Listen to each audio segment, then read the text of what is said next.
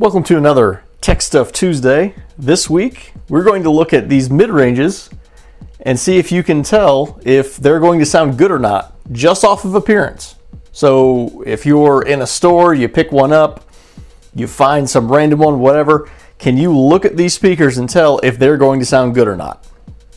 So, within these six uh, mids, uh, we have two coaxials, three that would be considered a, a full range or mid range, a three inch, two four inches, a five and a quarter, an eight, and a six and a half. Now, all of these are priced very, very, very differently. So we have a wide variety of things that we can look at here. But we're going to start with this four inch. You might think this speaker is pretty cheap, and it is. It's insanely cheap. The motor back here looks pretty big. You might think it's neodymium, it's not. This is actually shielding. So there's something around the motor that is counteracting the magnetic field of this motor. Uh, so if you have anything that's sensitive electronics can't have a magnetic field around it, that's where you'd use that application. Uh, tube TVs or monitors, which are not really made at all anymore, was something that would be affected by this. So that's why they exist. I'm not really sure why this one is the way that it is, but it is. They rate this one at 4 watts. I know this because it says so right there. Um, 4 watts is not very much. You can't expect a whole lot out of this speaker. But one reason why it is cheap, uh, the motor is very, very small, which we can't see because of the shielding. Uh, this has a 3 quarter inch coil, I believe, or possibly even half inch. It might be half inch. It's, it's very small. Stamp steel basket, another characteristic of just being cheap. Uh, and you can tell by the surround here, it's not going to move very much. So looking at the motor, if we could actually see it, we could see a little bit more uh, on its excursion capabilities. But from the surround alone, it can't move very much.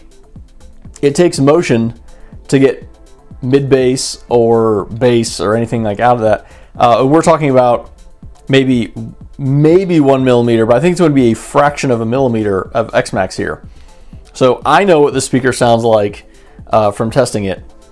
This is pulled out of uh, a machine, so I know what it sounds like, but uh, it kind of sounds like what you would expect this to based off of looking at it. Um, very, very cheap. Everything about it is cheap. Uh, but the key things to look at here this around with next to no uh, room to move, a motor that's covered up, which is usually the first giveaway. Uh, this is for magnetic shielding. Very, very tiny coil, will not handle much power, rated for 4 watts. You really can't expect much out of this. In a car, this is kind of the thing that you would put uh, on a factory radio to make it make noise and then sell the car on. It's not something you're going to want to uh, listen to. And uh, if you just kind of look at the speaker, it doesn't really look like anything that would necessarily be very desirable. So in this case, yes, you can look at it and go, this probably isn't going to sound very good, but it's also extremely cheap, so that's a consideration. Next, we'll move on to this 3 inch. So, this 3 inch is actually uh, one that uh, I've designed for one of our OEM customers that we supply to. And this one is a 3 quarter inch coil, copper. Uh, this one is rated for 20 watts RMS. As you can tell, it does have a pretty sizable motor on it. So we do have enough motor force that we could potentially get some uh, good X-Max, good mid-bass.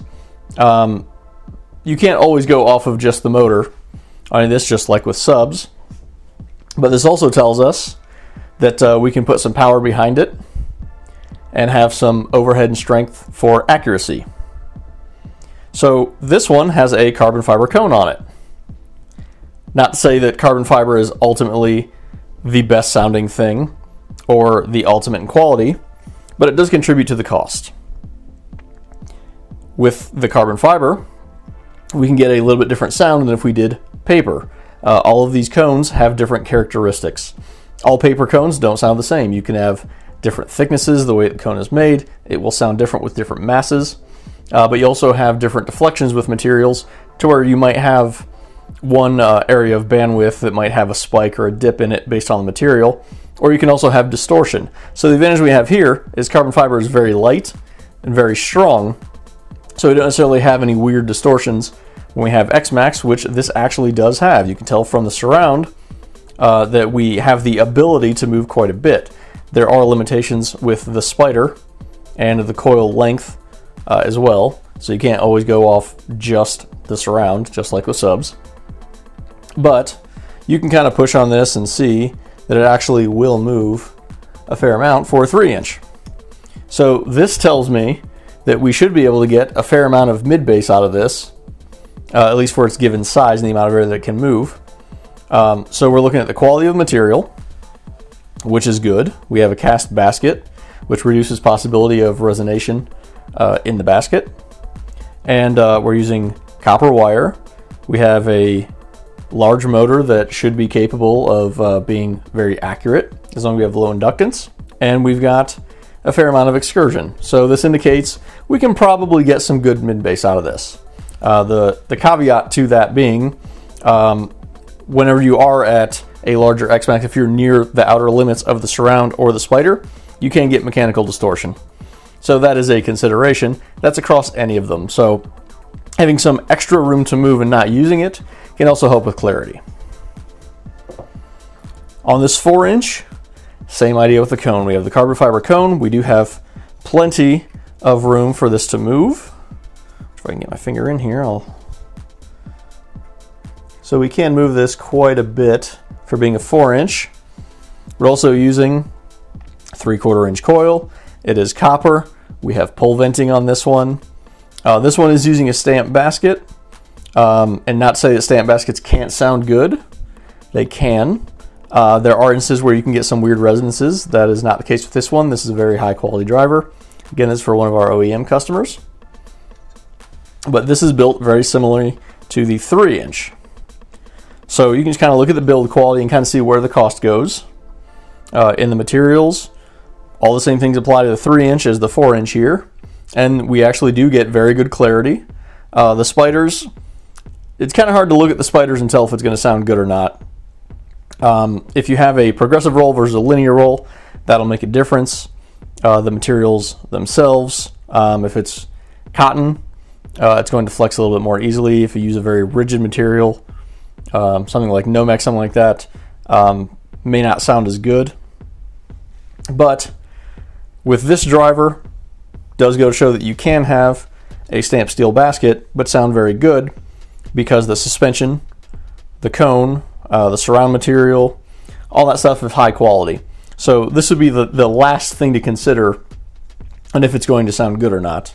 I know how these sound, so it's a little bit different than just looking at it not knowing, uh, but you can kind of see some of the similarities to the 3 inch on, uh, on what we're looking for on if we can pretty much tell if out of the gate it will not sound good.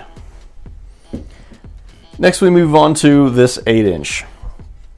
This 8 inch is actually being used as a sub in some applications because it's an 8 inch, so they thought it must be a sub. It is not, it is actually a mid. So this is rated for 10 watts, and you can kind of guess by the motor size why it might be rated for 10 watts.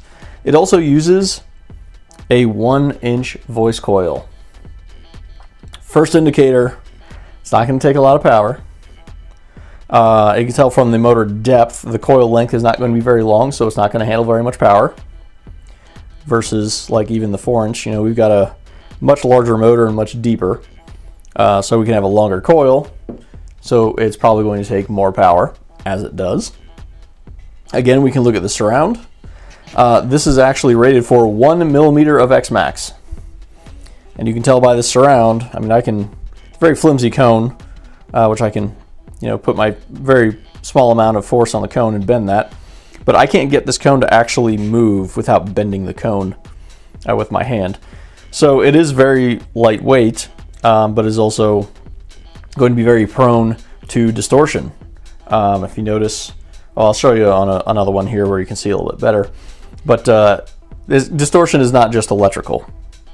We can have distortion from physical attributes like the cone warping. Uh, so this it won't move very much. If it did move more, we could actually get some resonance in the cone or from uneven pressure where this cone will actually start to bend and that actually does affect the sound quality and we have what's mechanical distortion. So this one, obviously we can't expect a whole lot of. Uh, this is one of those things you might be able to push on it and kind of figure out if it's going to have any amount of mid bass or not, um, just on the stiffness. If it's a really, really stiff mid, it's probably not going to have very much mid bass. It's going to have a very high FS. And looking at the parameters, you may be able to tell some of that as well. In the case of this one, I actually took the parameters off this because I was very curious. The FS was 150 hertz. That is higher than uh, I think all of these, except for maybe this one. But uh, I know that's higher than this one, and I suspect higher than this one, and I believe it's also higher than that one. So this has an FS that is higher than a 4 inch. It's uh, not going to have any mid bass. It doesn't have any excursion at all. Um, and this looks like a very, very cheap speaker, and it is a very, very cheap speaker. So now we have the five and a quarter coaxial. Uh, these are pretty cheap in terms of coaxes. Um, you can't really see the tweeter down in there. It is a soft dome. We can't see a whole lot more about it. Now, this cone you might think is uh, carbon fiber or some other exotic material, but is actually plastic. They put a texture when they stamp this so it looks like something more than it is. It is plastic. You can tell from the back you have that same texture. All they did is put it in a stamp and, uh, and put the texture in there. So they're trying to fake looking like something high end, which if you just want the look of it, whatever. But if you want the better quality sound, you still have to consider this is a plastic cone. Uh, this may add some rigidity to it, so it might be a little bit stronger, but there is possibility for mechanical distortion with this. Uh, we do have some X-Max, not a whole lot, uh, but that does indicate that we can probably get some mid bass out of this as compared to some of the other ones. Uh, this has got a foam uh, gasket down in here uh, to keep the gap clean. Uh, that is somewhat effective. Uh, it's better than nothing being there at all. But again, that kind of goes with being a cheap speaker. So if you look at the build quality, and the build quality looks pretty cheap, there's a good possibility they didn't put a whole lot of time into seeing how good it sounds. But not to say this doesn't sound good. I haven't heard one yet. Uh, I've just got one of these uh, to play with, which I haven't done yet. So it may sound okay. Maybe it doesn't, but the build quality is so-so. Uh, again, we have a stamped steel basket, and uh, we have our connections. Well, this is done, and we have our filtering that is done right here. That's all passive. Uh, again, looking at the spider and coil, uh, we do have a little bit larger coil. I believe that's a one-inch coil. So this can probably take some okay power. Um, 50 watts I don't see being an issue. The motor is decently sized, so there's a, a fair amount of motor force. Transient response is probably okay. So now that we've looked at a little bit better speaker uh, than these two and kind of along the lines of these, but in coax form, we'll go to the next step up. We have our Swag 6.5. These are the revised new version that are available on emfcaraudio.com. So the difference with this one that we can tell is one, we have a massive motor on this. There's plenty of motor strength, and that's going to be good for all the mid bass that you can get because we have quite a bit of throw on this. This one also has a carbon fiber cone that is actually carbon fiber. It's not the stamped plastic. So we don't have any weird deflection or anything like that. Uh, it is a very durable cone, it is a very strong cone, so we don't have any distortion uh, right until we get to the very limits of the surround uh, and the rest of the suspension. We also have a rubber seal down here. Uh, this does not really do anything for the suspension itself. Um, it does add a little bit of stiffness to it because it's connected uh, completely, whereas the five and a quarter was not. Uh, so this is connected at the cone and all the way in there for an airtight seal. So this does do a little bit for the suspension, uh, but not a whole lot. We have a hard dome tweeter that's going to be a little bit more efficient, give you a little bit crisper highs to the soft dome. Um, we have a cast basket, which again, we're not going to have any weird resonance, anything like that. So when we've got all this mid bass happening, This is not going to be vibrating funny or causing any problems, but also in mounting, it's going to be very stable. So we don't have uh, this binding up, uh, moving around the spider, causing the coil to rub in the motor or anything like that, which I've seen on some uh, stamped steel baskets. Uh, if you don't mount them perfectly straight, um, if there's some kind of tightness to the hole, that's what she said, it uh, won't uh, cause any problems with that, um, clamping down on it or distorting that. We also have passive filtering on this. Um, so they're not going to blow up from you having it inappropriately crossed over. Anybody that has actually heard these things uh, know they, they do sound absolutely incredible. And if you look at the build quality on these, it's a very, very well built driver. So that's indication of cost. This is the most expensive one of all of these six. But when you just you pick it up, you feel it, it does feel like a quality product. And if you put the feel and the fit and finish into it, you probably put the effort into the actual sound quality itself, not just a piece of bling that sounds like garbage. So this is going to be our, our most expensive but our best sounding driver just from uh, the appearance of them, but it actually is in reality. This one is the second most expensive, and when you just look at the way that it's built, it does give the indication that it's okay quality. It is cheap. Um, you can only expect uh, what it costs out of it. Uh, everything's cost that way for a reason. And we're dealing with really, really cheap. You have to expect this is probably not going to sound good. And in reality, it doesn't. It's very, very mid-range strong. That's all it does. It doesn't handle very much power, but it is very cheap. Same thing with this guy. Very limited bandwidth, no mid bass. Feels cheap, looks cheap, is cheap. Both of these guys, they look like a better product, they feel like a better product, and that is also reflective in the design. They actually do sound like the better product. So, can you tell if these speakers are going to sound good by just simply looking at them? To some degree, yes. You can look at the build quality of all these speakers. If you put the effort into the build quality, you probably put the effort into the sound quality. If they look cheap, they probably are cheap and they probably don't sound that good. Not to say that there isn't a diamond in the rough there, but on the whole, that's generally the case. If it looks the most expensive, does it mean it sounds the best? No, not really. That is also not the case. But when you're dealing with super cheap or somewhere in the middle, it's at least something to look at and consider. Things are cheap for a reason. If you have something that's rated for 150 watts and it has a three quarter inch coil, it's not going to take it. Uh, that's just one of those frivolous ratings. That's something to look at when you're handling the speaker. Look at the specs on it. Say, see what it says on the box or the spec sheet, and then kind of compare that to what you're looking at. If you uh, if you pick this up and it says it's rated for 75 watts, you probably have to ask the question: Is it really going to take 75 watts, as opposed to this one that actually is rated for 75 watts. This looks a lot more believable for being rated for 75 watts. So use your common sense when you're looking at these. Make your own judgments if you can't hear them ahead of time. Maybe you'll get lucky and your, uh, your guess will be correct.